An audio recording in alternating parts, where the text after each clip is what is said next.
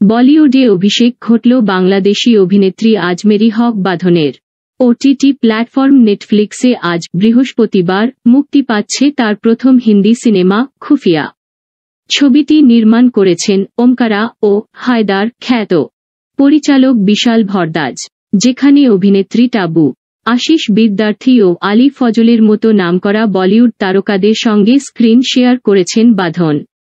সিনেমাটিতে বাঁধন অভিনয় করেছেন একজন বাংলাদেশির ভূমিকায়। খুব ছোট্ট একটি চরিত্র। এ প্রসঙ্গে অভিনেত্রীর ভাষ্য, খুব ছোট একটা ক্যারেক্টার করেছি আমি। সিনেমাটি মুক্তির পরই বিস্তারিত বোঝা যাবে। এখন এ নিয়ে কিছু না বলি। তবে এটা বলে রাখি, আমি খুফিয়া অ বাংলাদেশি এক মেয়ের চরিত্র করেছি।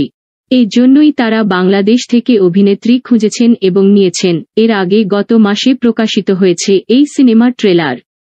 দুই মিনিট উনচল্লিশ সেকেন্ড দৈর্ঘ্যের সেই ট্রেলারে একাধিকবার দেখা গেছে বাঁধনকে, যেখানে তার লুক নজর কেড়েছে ভক্তদের। সত্য ঘটনা থেকে অনুপ্রাণিত এবং অমর ভূষণের জনপ্রিয় গুপ্তচর উপন্যাস এসকেপ টু নোহোয়ার এর উপর ভিত্তি করে নির্মিত হয়েছে খুফিয়া। একটি সাক্ষাৎকারে নির্মাতা বিশাল ভরদাস জানিয়েছিলেন, এটি একটি অত্যাধুনিক অ্যাকশন স্পাই থ্রিলার ঘরানার ছবি।